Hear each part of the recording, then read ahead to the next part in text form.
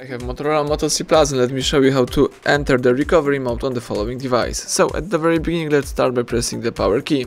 Keep holding power key, choose power off and tap OK to confirm it. Wait until your device will be completely switched off and afterwards let's use the following combination of keys. Power key and volume up. So let's hold down together these two keys for a few seconds. Keep holding both keys Release them as soon as boot mode pops up on the screen, here you can navigate by using volume up. So let's choose the first option which is the recovery and press volume down to confirm it. Right now the device is booting into recovery mode, let's wait a few seconds. And as you can see this is Android no command logo, so now you have to start holding power key and by holding power press volume up once.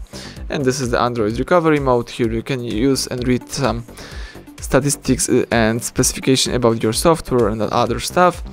You may also navigate here by using both volume keys and confirm options by pressing power key. Here you can apply update from ADB, you may apply update from the SD card, you can accomplish the hard reset, so the wipe data factory reset, you can wipe cache partition, backup user data, restore user data, check root integrity, mount system, view recovery logs, or run a graphic test. If you would like to quit this mode, let's choose either power off or the first option which is reboot system now. Press power key to confirm it, and right now the device is booting into the normal mode, let's wait a couple of seconds.